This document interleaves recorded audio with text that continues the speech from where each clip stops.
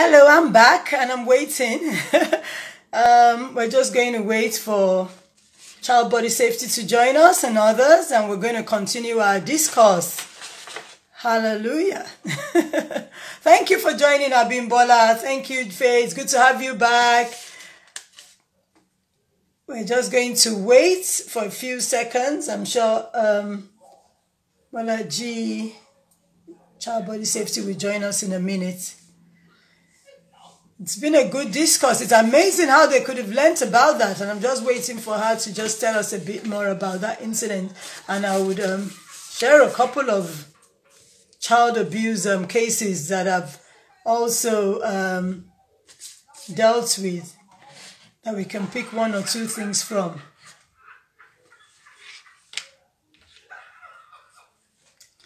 Oh, we're waiting. I hope she hasn't gone far. We haven't. I haven't seen her come back on. Oh, fantastic. Okay.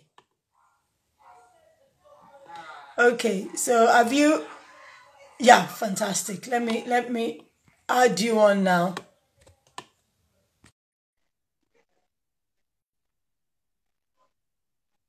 Waiting for you to join. Yes, I've added did I'm just waiting for it to kick in. Fantastic. It's good to have you back. good. Welcome back. Welcome back. Yeah, you were saying. yeah, you were talking about how it was detected. It wasn't like the child is closed. It was detected No. because there was CCTV in the in the apartment in the house. Yeah. So I mean that that happened, and um, even at the time when they asked the child, they saw what happened because there wasn't CCTV in the guy's room. There was CCTV around the house, so they knew there were movements back and forth into the guy's room, and calculating the hours, calculating the minutes and time the child spent in the room is questionable, you know. So at the time the parent came out to talk about like what is going on, the child still didn't come up and say that it was real. You know, and that's where parents do get it wrong. You know, there's a lot of times where we kill our own child's self esteem and they look for validation outside. And this Yeah. validation, this validation comes in different forms. Mhm. And that's where a lot of abuse comes in. And that's why it's important we teach them number one, self healthy body images, body confidence. You know, it's very important because, and that's why what we do, we try to make them understand that it's not, I, for me personally, I have gone past teaching any child, don't say no. It's, for me, I don't even think we should be even, we should be telling, it's a, it's, it's a, it's for a particular age. You know, we, it's getting deeper than a child saying no to a perpetrator So, or yeah. to to to- it's getting deeper it's getting ingrained where the child wants validation somewhere else where you know and another thing i want to talk about is a lot of um a lot of special need children too Yeah. It- Yeah. Are overlooked but At they, they, they risk. Yes, and they are at high risk, and they uh, they're all over. You hardly see a case come out surrounding a lot of the special need children. But at the end of the day, whether the child is special need or without any needs, particularly, the Mhm. every child needs the same thing. Every Yeah. child needs self confidence. Every child needs self esteem. Every child need you know something healthy about themselves. Every child needs you to hear, listen. Every child needs you to teach them something they don't know. Whatever you don't teach a child, you don't expect a child to know it. And that's Mhm. all. That's always been my own philosophy. You must. If if I want to teach you how to make cereal very well, and I see that you're not making the cereal very well, what I do to myself to calm myself down is: Did I even teach you how to make cereal cereal in the first place? Did I teach you the right step or the right process? So for me, I've always gone around that part of what I don't teach a child. I don't. I, I shouldn't even beat the child for it.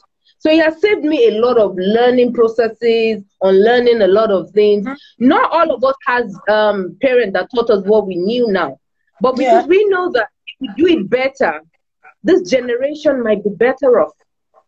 And that's why child body safety came into existence in the first place. So we teach them more from the normal body, the safety rules that, mm-hmm. oh, five um, safety um, confidence or anything like that. So mm-hmm. I, I would advise a lot of parents should be on their children.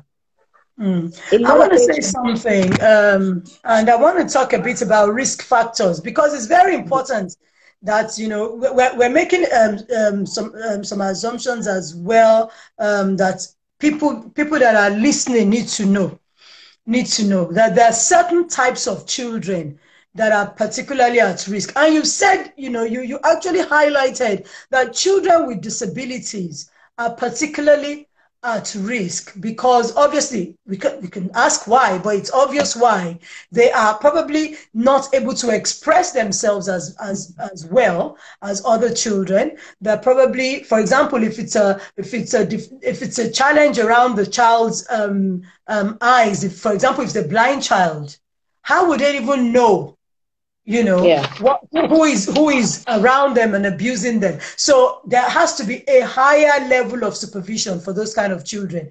A child that can't speak a child that is um you know has some kind of you know maybe autistic or has some kind of learning disability you know there has to be a higher level of dis- um, supervision because those children cannot probably express themselves that this is what has happened.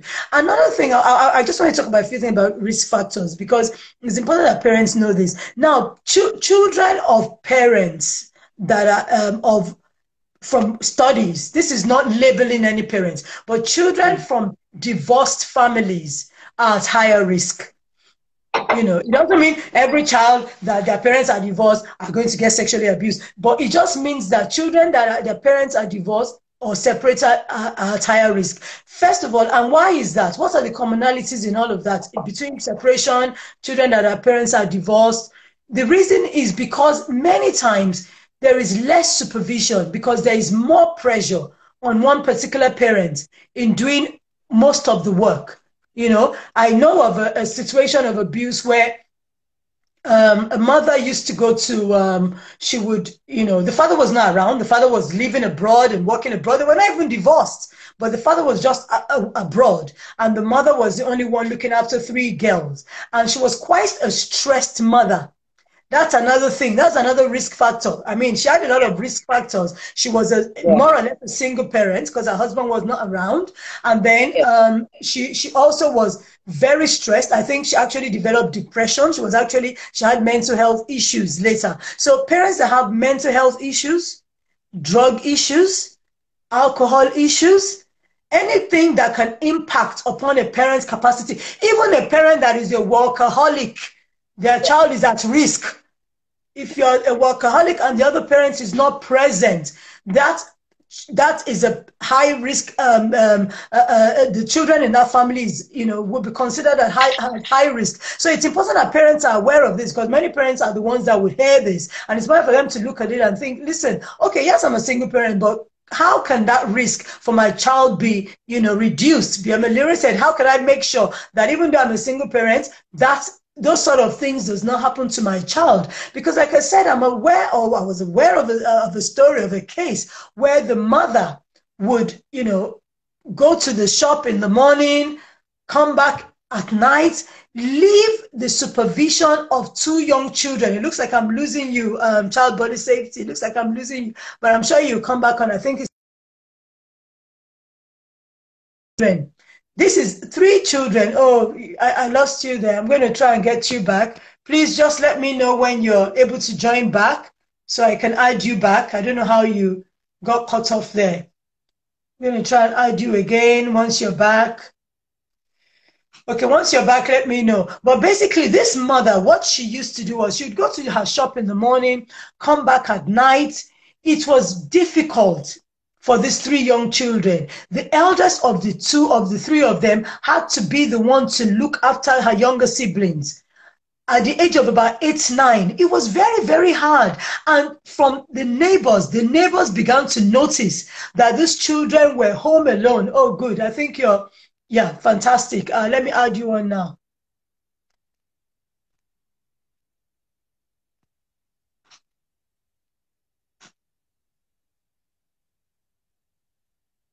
Waiting for you to join.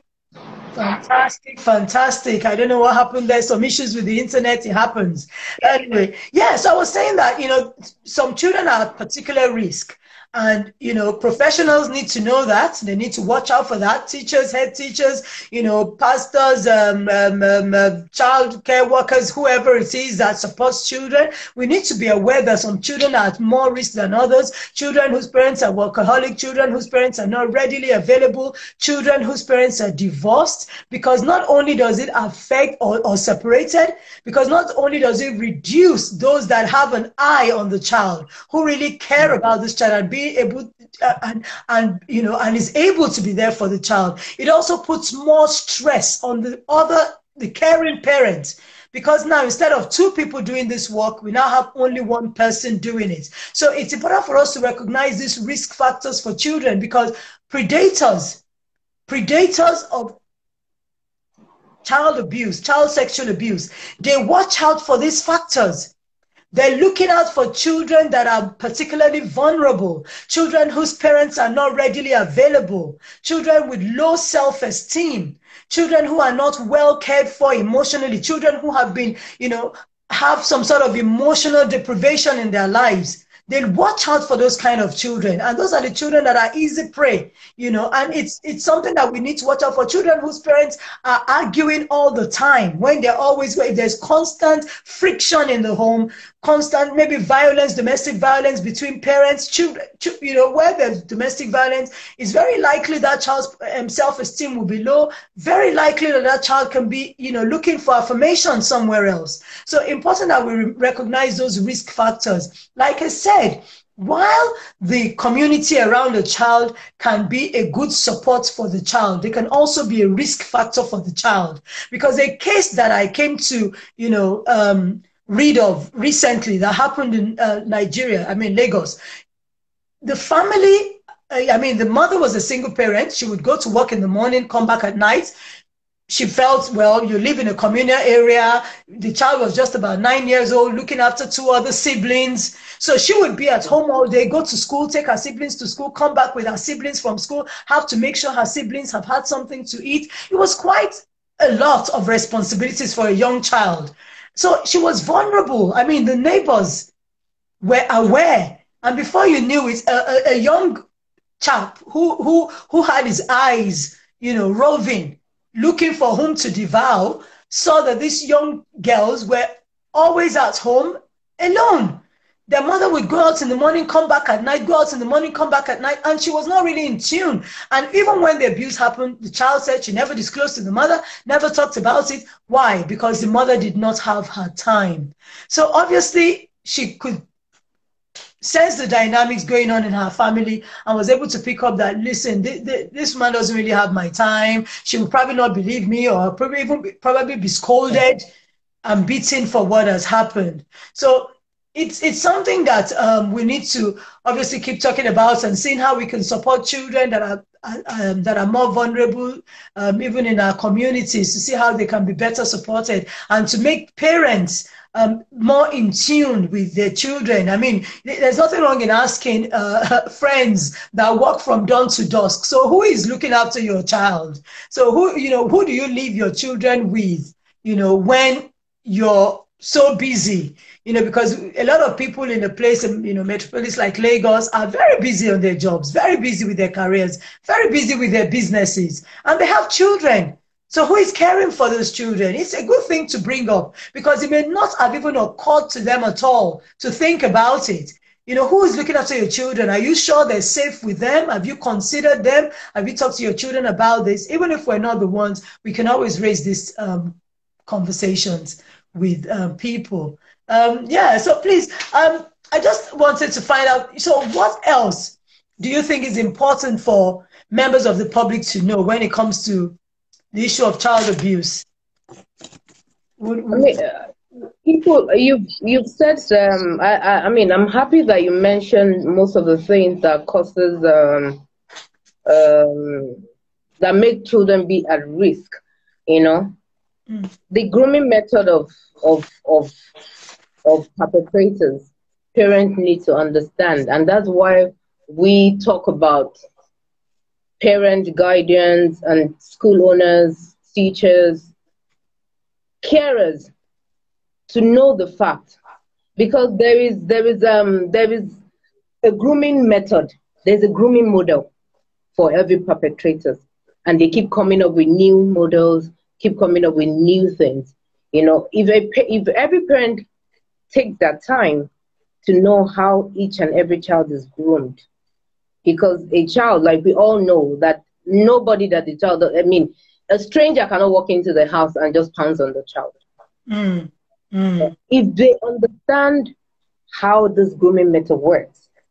And that is why I like parents that go all out intentionally to read about these things to teach mm their kids.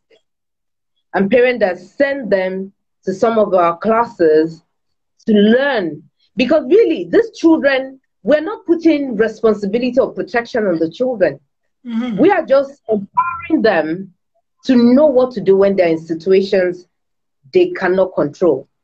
So they do you walk around you to schools, or how do you, you know, what group of children do you support? Um, what what we do is, and um, we organize programs.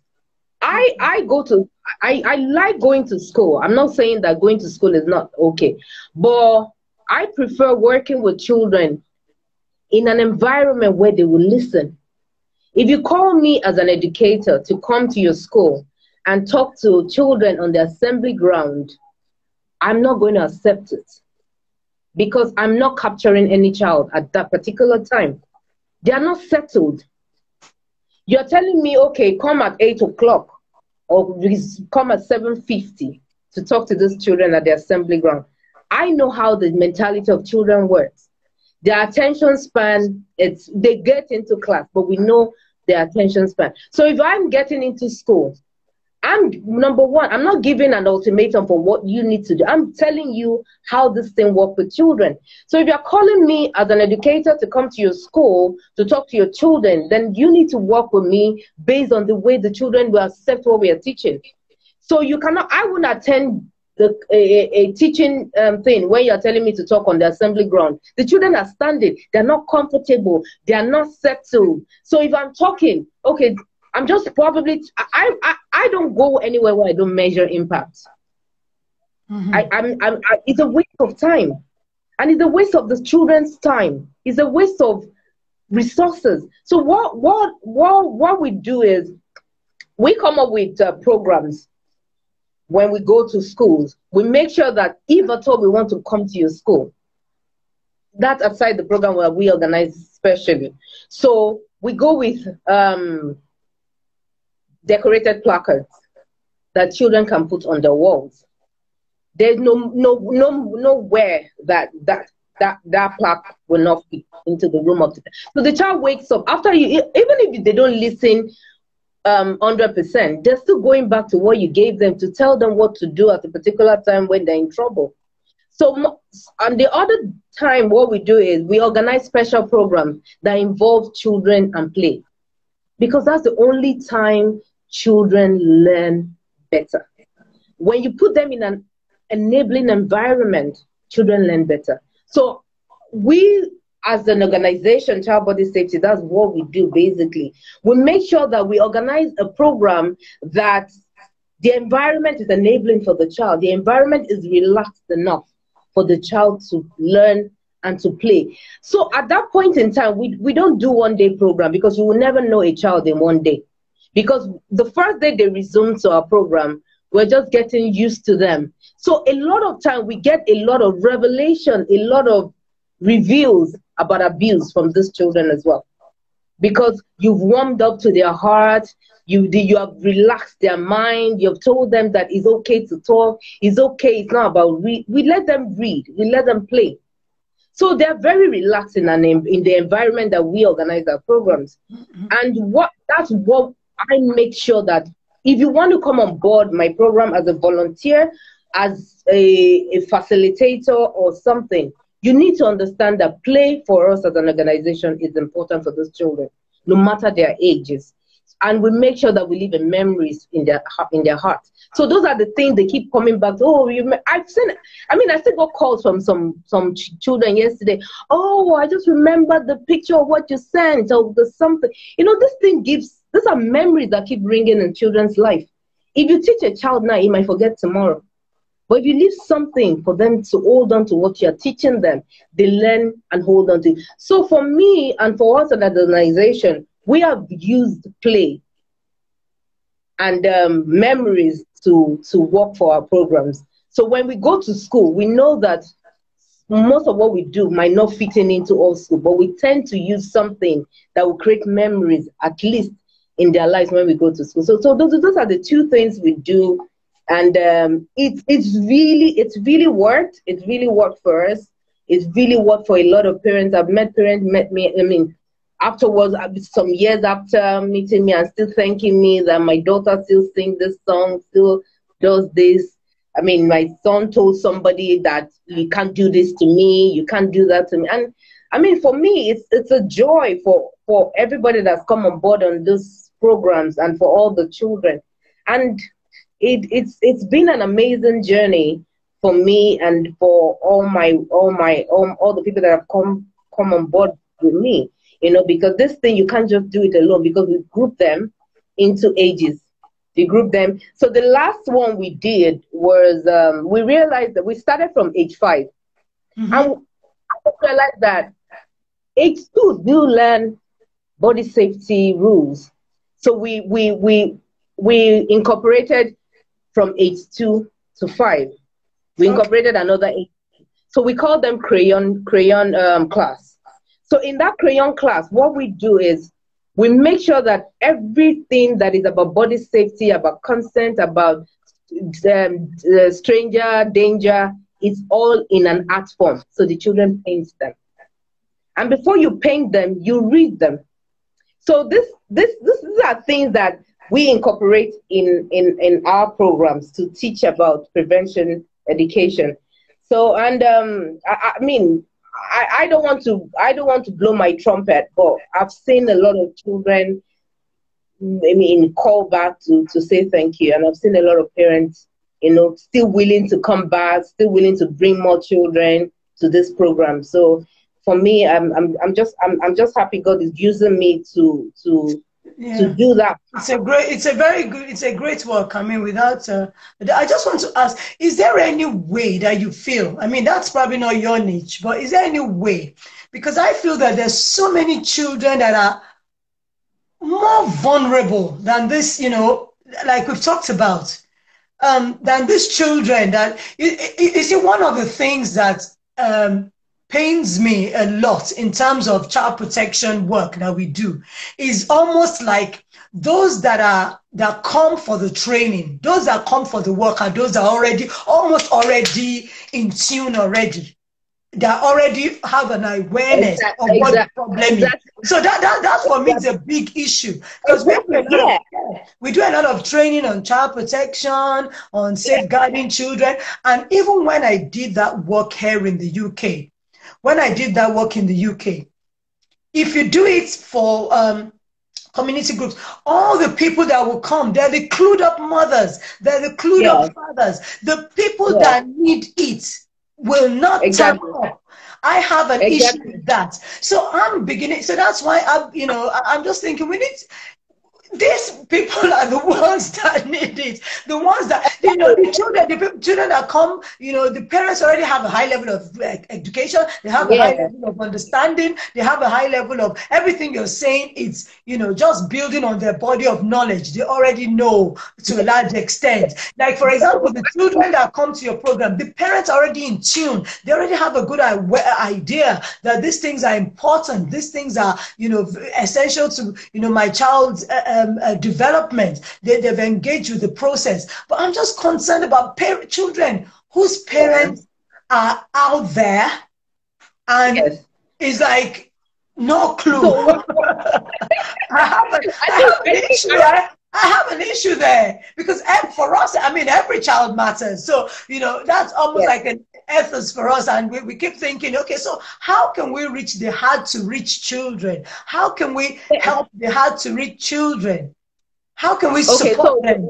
I am, I'm, I'm so happy that, you know, that's why I was laughing when you were talking about this.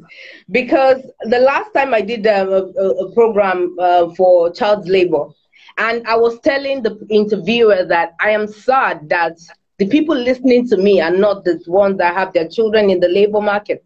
Mm. You know, so mm. I am, I am, when they kept asking me questions, I was, I was, I was not reluctant, but I'm like, who exactly am I talking to?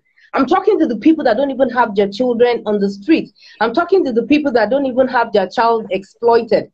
So I, mm-hmm. I had to ask another question, just the way you're so passionate about it. I had to ask the interviewer, like, who exactly are we talking to? because we are talking about child labor here. I'm talking to people, people that put their children out there for child labor. They are not on social media. Mm, they're, not, they have, they're not. They, they're not. So, you know, I, I'm, and I'm so happy that you're so passionate about that aspect as well. The thing about it is, the more advocacy group that comes up, mm. the more government can support. And what advocacy people, the group doesn't understand is when you go to the less privileged, because we have an HAM that work on the less privileged communities, yeah. that impact prevention and other things. You cannot go to the less privileged community without having something to give. Mm-hmm. Mm-hmm. You can't walk into you can't walk into an environment where people are in need and you're talking. Mm-hmm. You have to you have to learn their language, oh, and yeah. their language their language is by giving. Yes, gifts. Yeah. Yeah. What what we do is when we are going to preach prevention education or we are going to preach other things for the less privileged for rural deep deep rural when people see me and see my pictures on social media and they see when we go to the field where you have to roll up your trousers or roll up your sleeves is a different ball game. But the way you will talk to a parent of a civilized community is different from the way you will talk to them. You can't just get there and just open your mouth and talk. Already they're already looking at you that what are you talking about? Is that what we want to hear? So mm-hmm. for us as a group, what we what we came up with was to enter through menstrual hygiene kits.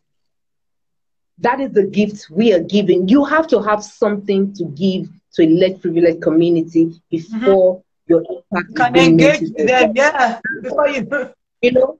So if we are talking about these vulnerable children and needing them to learn about sexual abuse prevention or what to do, how to report, you get there stand in their midst, listen to them.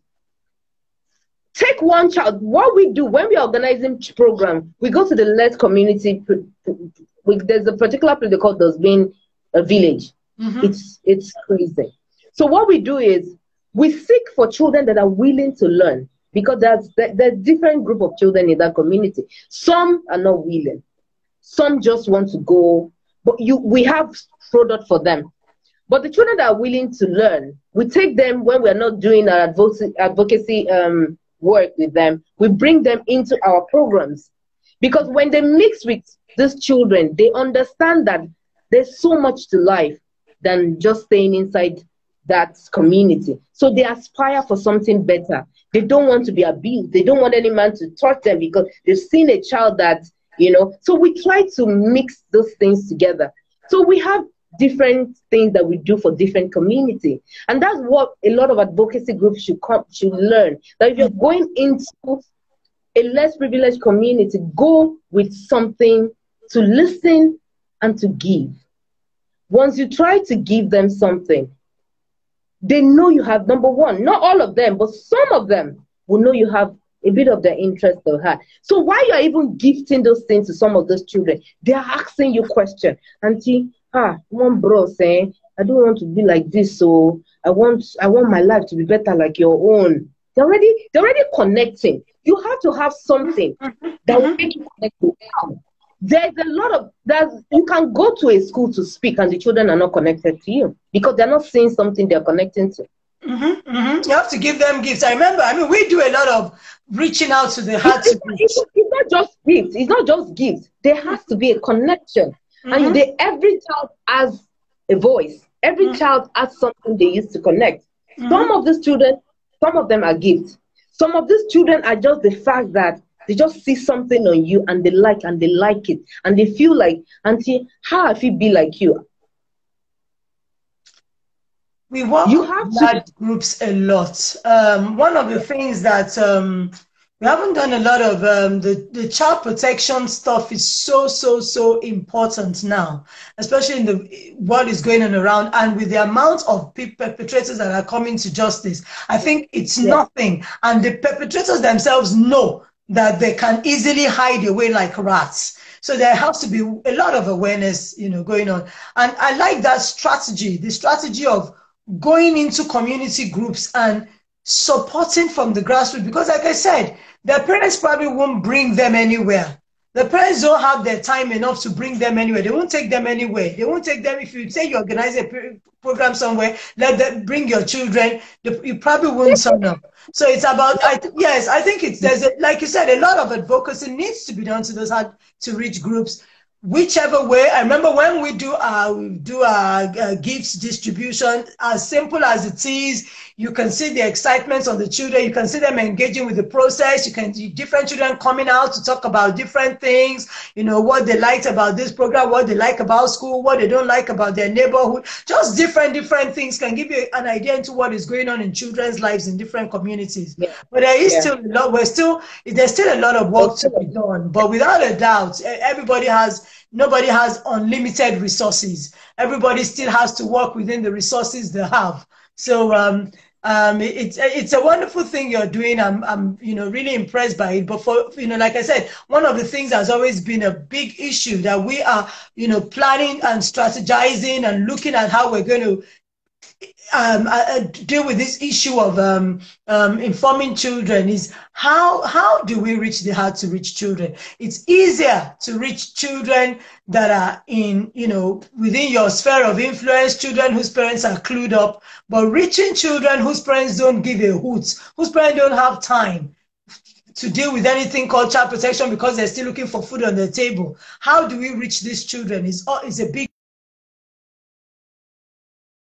the strategies that we'll probably look at. Oh, she's logged out. Uh, da, da, da, I think that was just um, something to do with the poor connection. I'll wait for her to come back on before we round up. But it's just important to bear those risk factors in mind um, for those of us that are, you know, listening, you know, the kind of children are most vulnerable. Children whose parents, you know, are probably way, way too busy. Children that come from high friction families where there's a lot of um, tension between the parents and a lot of, you know, uh, uh, domestic violence in the home. Children that, you know, the parents are divorced uh, separated, because the likelihood is the parents that is the remaining parents with the child has a lot of pressure, you know, would have so much pressure on them financially, emotionally, and that supervision for that child will be reduced. It's just important for us to bear these things in mind as parents so that if we are in a position where, you know, because some parents may be listening and be a single parent and say, oh, does that mean my child will be abused? No, it just means these are risk factors that you need to be aware of. So who else is going to be caring for,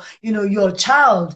You know when you're not available when you're working you know long hours is that person someone you can trust is that person someone the child trust. And those are things you can pick up. And these are conversations that we can keep having with children. The truth is, many children will not even show. There are some children that will show sexualized behavior of in abuse that have been abused and will show it in their behavior. And there are loads of children that will never, you know, it would not show in their behavior it would not, you know, their parents would probably not be able to tell. Nothing would go wrong. They would not, you know, they, they, they, they, they'll probably push it to the back of their minds. They will still function well in school. And you won't be able to pick up that something has happened to this child. I'm still waiting for child body safety to join back. But I'll keep talking till she joins us back. I think there's something wrong with her connection. But there are many children in that position where you know, they will just carry on with life. They will put it at back of their minds and keep going on. So it's important that we have these conversations with our children, check out, you know, what's going on for them. be our brother's keeper. If you know of, you know, you know, families where they seem to be struggling, you know, and they seem to be so fixated on their own issues that you feel this child or these children can miss out on even, you know, or, or these children can be at risk or at higher risk because of what's going on in this family. We should be our brother's keeper. We should step in. We should, you know, bring it to the parents' awareness. You know, who are you leaving your children with? You know, this housekeeper, this houseboy, this whoever, this driver. Are you sure your child is safe with this person? Because they may never have even thought about it. it may just never cross their mind. So it's something to bring to the table and also to check up on, you know, on children how, how do you feel about being with so and so? How do you, you know, who do you prefer me to drop you off with? Why? Why, you know, would you like to be with this person when I'm away? Do you like staying with this person? What do you like about them? What you don't, you know, what don't you like about them? It's, it's good to initiate these conversations because children, another thing about children that you need to understand, even as a caring parent, is your children is also seeking to protect you as much as you're trying to protect your child, don't forget that your child also psychologically may be seeking um, to protect you. I'm just going to add child body safety back on. I think she's coming back on now. Don't forget that your child may be thinking, I don't want to burden my parents with this. Even if something is happening to me, I don't want my children, I don't want my parents to, to be, oh, it's good to have you back on. so, hello, good to have you back on. So I was just talking while you were away and just talking about just um, it's written the um, the risk factors for children and just you know talking to parents generally. And i also just I, will just let you round up. I'm going to say something now and we're going to round up when you speak. Um, but i was just going to say that a lot of parents even caring parents should be aware that you know as much as you love your child and want to protect your child your child intuitively as well may want to protect you, is watching out for you. And children sometimes think, I don't want to burden my mom with this information. I don't want to burden my dad with this information. And it's important that you let your children know early that they're not being a burden. And if anything, you know, puts them at risk, let them know their, their, their priority to you it's important that you let your children know up front. Let, listen, don't let anything be too hard for you to tell me. Don't let there be any secrets between you and somebody that you don't tell me. You should never keep secrets from me. You should never keep secrets. You should let me know. There's nothing that is so difficult that I can't handle, that, you know, that we can't handle together. Because a lot of children, psychologically, you know, they think, oh, I don't want to make my, you know, my mom is doing a lot for me already. My mom is, you know, she's such a wonderful parent. She's such a wonderful single parent. She's doing all of this thing. I don't want to burden her with this incidents. I don't want to make her feel bad. I don't want to put more stress on her. So it's important for children to hear from us that no, you're not being a burden. You're not being, you're not stressing me out. Just tell anything going on for you. You're my priority. You know, let mm. children, let your children know that they're your priority. Nobody else is as important to them, to you as they are. And you know, mm. as and the more they hear that, the more they'll believe it. The more, if anything happens, they'll be able to come freely. You know, um, to talk to you. So it's so it's so nice um, having you, um, Bolaji, uh, and the and the work you're doing is amazing. And it's you know I, I'm I'm so glad that there's so many uh, uh, more um, non-governmental organizations doing a lot of work with children and helping to prevent and to support and to promote children's well-being. Please just let's have you know some of your closing remarks around all of this and what's you know some important points you like to bring to our attention again. Okay, um, I, I would like to just leave this that before people, I, I mean before people used to think child sexual abuse it's um, maybe when you're going through something child sexual abuse doesn't have boundaries. It doesn't know any social economic um, side. It doesn't pick side. And once you remember that as a parent that child sexual abuse when it happens to a child you cannot measure what happens to your child. You can only try and parents should be able to understand difference between normal sexual development and when there's a problem with your child. This normal sexual development, a lot of people, because there's a thin line to notice when a child is abused. A lot of parents should be able to dig deep. Like someone mentioned randomly, said, ah, what I do is I I naked my child to see if there's anything that happens. Wow. If that works for you, if that works for you, so so be it. How will that work? no, because as a, as a, when you leave your child with people, it's a, it was a random it was a random talk. But I sat back and I am the kind what of person. What if it's not penetrative sexual abuse? What if it's okay? You know? Well, you know why I said that? You know why I said that? I'm one person that I'm never judgmental about your parenting skills if that is what works for you. So it needs further education without a doubt. I would I would judge you based on this is not judging. This is it's a bit inad- it's not adequate. You, what, what you've got there in terms of knowledge is not enough. We need to give yes. you some more information and knowledge. Yes. You need to one thing about parents is some parents who a lot of parents don't want to hear that they're not doing a good job. No, no, and no, they're not doing enough. They're not doing, and so, do so more. There's, a difference. Yes, you and sandwiches. You, you sound you know, a lot of parents is trying without a doubt. Don't let's knock parents. A lot of parents are trying. I know parents, yeah, yeah, most yeah. parents, except apart from the abusive parents, no parent is looking for their children to be abused, apart from the parents that actually abuse the children themselves. So they're doing their best, maybe looking for money for food for this, but they're probably not in tune with everything. And it's hard. Being a parent can be a Herculean task, especially in a place like Lagos. So, I mean, the sandwich method of affirming parents and also highlighting that there's still a lot more that can be done and then obviously making it clear that you are doing a fantastic job you know, yes. it's all.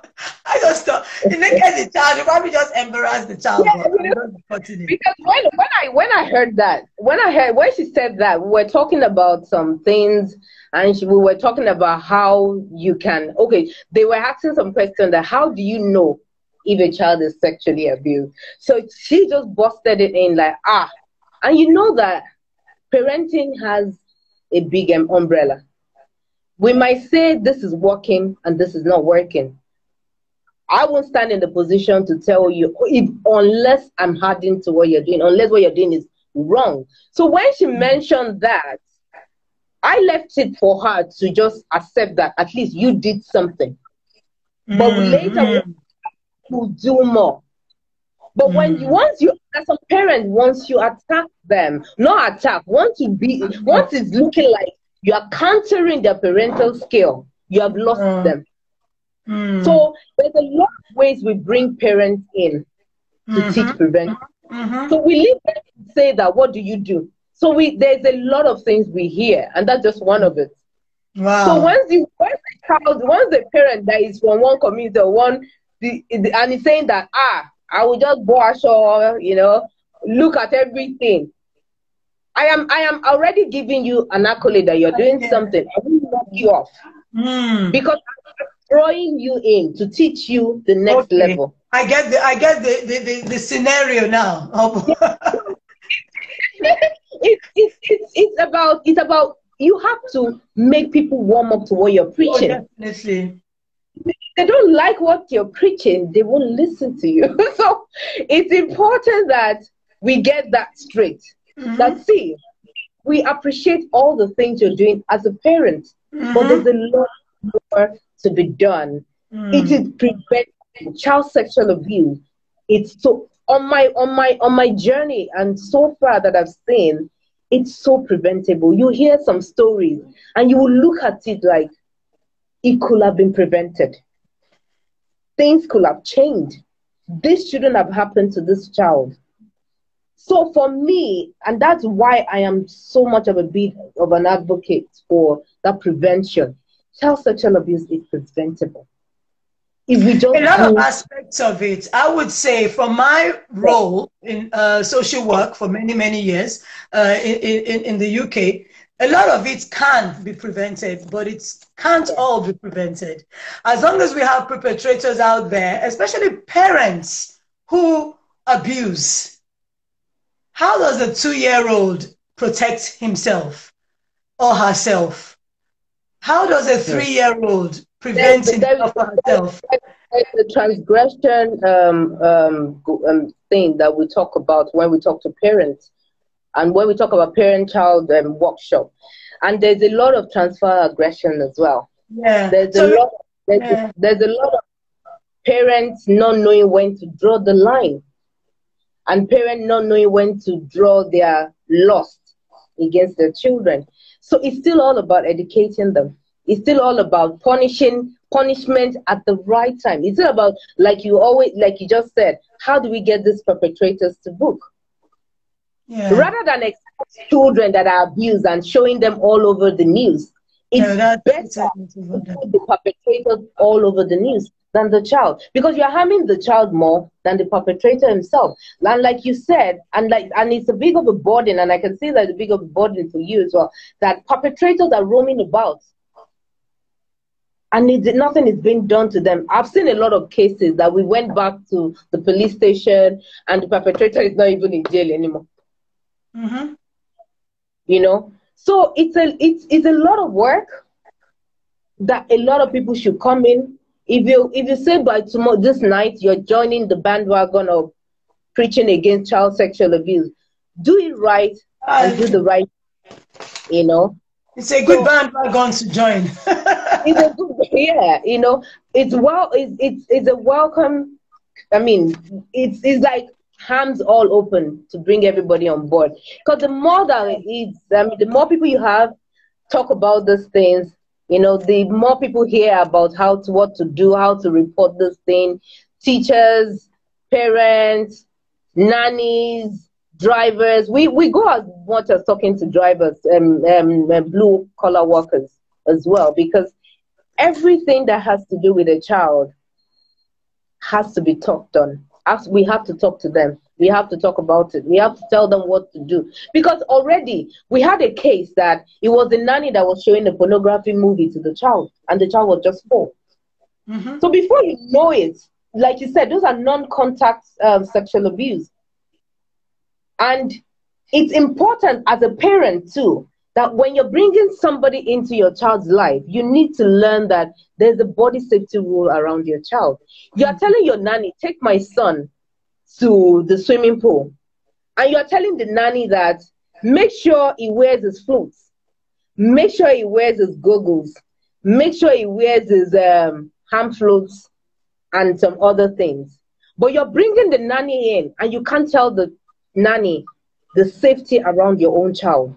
Like we don't give them this at this particular time. We don't show you. You're not allowed to give my child a phone. You are not allowed. If she say no, that he doesn't want something, she does. Sometimes we we we tend to not draw the line of disrespect, and when a child needs to be assertive Yeah.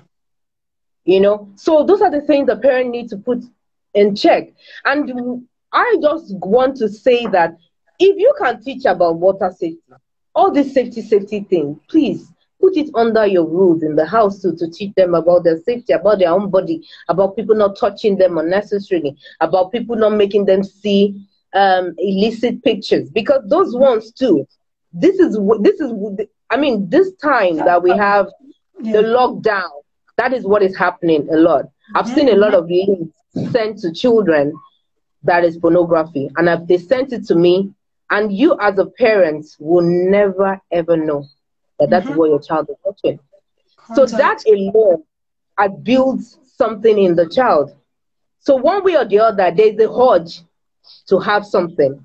There's a urge. So when it comes on that child it, it, it feels like let me just practice what i've seen.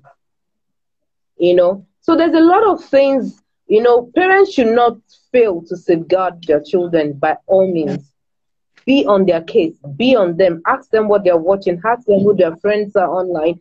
Ask them what they're interested in. We a lot of time we always use our economic uh, problem to to deal with our children. And at that point in time a lot of children feel that they have to take up your emotional burden, like you just said. Mhm. You know, so a lot of times, without you telling the child what to do, the child is already put in that box of let me take this emotional needs away from my parents. Let me talk to somebody else about what is wrong with me. And by talking to the person, there might be an exchange of something that sex might actually end up being being the end result. You know, so a lot of times, a lot of times, we need to know that yes, a lot of parents are stressed, but our children are our legacy. Mhm. They are the only thing. No matter what you buy, no matter what you do, no matter how much money you have, whether you is adopted child or is biologically born, they're still going to be your legacy. So what if you can put so much effort in your business? Why not put so much effort in your child or raising your child? I really like So- that. I really, really like that because that's a, yeah.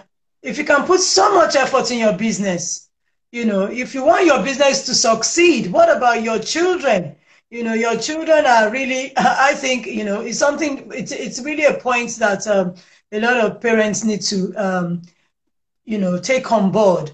I'm sure we're going to, um, be rounding up soon, but I just want to emphasize this, um, uh, which I said at the very beginning, and I want some parents to recognize this as well. Um, uh, in my role as a social worker, uh, when I was in the uh, UK, I, I, I, I, I've seen all, I've seen all the forms of abuse. Let's put it, you know, all the forms of sexual abuse that you can think of. I've seen abuse on on toddlers. I've seen abuse happen in nurseries. I've seen abuse happen at child minders. I've seen abuse happen in families. 50% of the girls that will be sexually abused will be sexually abused in their family. That's actually a dangerous um, amount of, um, um, it's a very high number. Um, I've seen abuse happen um, with, with caregivers, you know, from, you know, imam to pastor to teachers. It happens. Um, I've seen abuse happen, you know, with strangers, not as not as common if the child lives within a home, but it happens. You know, neighbors um, where they notice that the children are not, you know, at uh, well looked after. I've seen abuse happen from, you know, within within children of uh, uh, within children, within children. I've seen 14, 15 year olds abusing 10, 12 year olds, children of similar ages being abused, where parents don't know. I've seen abuse between cousins, you know, they go for holiday somewhere and you know, especially in these times where there's long stretches of periods. I'm saying it because I want parents to be in tune and I want the public to be aware that um, the risk is high in many places and we need to uh, be very aware. I know of a, a situation where cousins uh, got pregnant for one another, um, young young cousins. I, I was aware of one recently. Somebody sent it to me on WhatsApp. I, I didn't know. I don't know anything about the family, but a family, a, a son happened to have um, made two of his sisters pregnant. Wow. So we've heard of some horrendous stories that is not even should never be heard of, as they say, but it happens. It happens, and parents need to be in tune. You know, the culture within your homes it needs to be very, very clear. You need to be very clear, even with siblings. You know what what is acceptable, what is not acceptable. I used to tell my children the stories I heard, the things, the things I was aware of, so that they would know that there's nothing new under the sun. I used to tell them many cases that I had to deal with. Of course, I used to anon- anonymize the, the, the, the people, but I used to let them know that, look, there's nothing that we haven't heard of, and you need to be aware and you need to be clued up. Children in boarding schools, it happens all the time. You know, and we, you know, that, that's something that parents also need to. It's not just happening with the drivers or with the caretakers or whatever. Where you feel your child is safest the most, it could be happening there, and parents need to also be aware of that. Um, so um, it's been a wonderful discourse. Um, we we need to continue talking. We need to continue raising awareness. We need to continue reaching out to the parents, to the children, and you know doing what we know best to do and looking for new and better ways of even doing what we do already thinking up new strategies and you know obviously looking for more resources to do the work because i don't know about you but hey it's a resource issue at the end of the day. It takes money to do anything. Yes. You know, we need the funds, we need the funding. So we obviously need more funding and we obviously need more hands on deck, volunteers to support the work. But I can only just commend you uh, for your wonderful work, for all the things you're doing. I've seen it and I'm, you know, very impressed. And I know that, you know, you're touching lives, you're making a difference, you're making an impact. And what more can we ask of anyone? Um, so thank you so much for all you've done. Thank you for all you're doing. And uh, yeah, thank you for coming on board today. Thank you for coming to share with us and for having this discourse. So have a great evening. I think it's I'm a good so, I'm so thank you. I'm, so thankful for everyone that joined as well. Yes. Oh yes. Yeah. We should thank everyone that joined. Sorry, mind, forgive my manners. thank you for staying on. Thank you for joining. I can actually see my husband. You know, thank you for joining oh, oh, my God, that's amazing. It's good to have everybody Thank on board. You. Thank you for being here. Thank you for listening. For having me. We will talk behind the scene. Yes, have a good evening. God bless you. you. Thank you, everyone. Thank you. Bye.